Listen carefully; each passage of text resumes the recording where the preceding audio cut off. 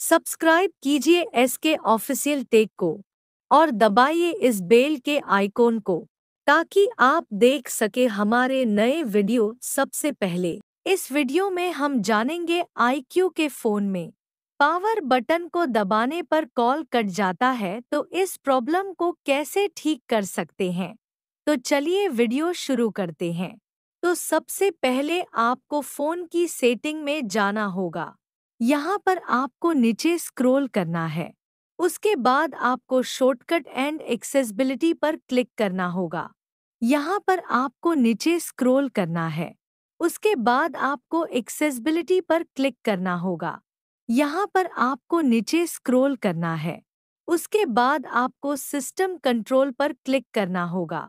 यहाँ पर आपको ये ऑप्शन दिखेगा। Power button and call. तो यहाँ पर ये चालू होता है तो आपको इसे बंद करना होगा। तो अभी हमने इसे बंद कर दिया है, उसके बाद आपको पूरा बेक आ जाना है। तो अगली बार हम जब भी पावर बटन को दबाएँगे तो कॉल कट नहीं होगा। तो बस इस वीडियो में इतना ही।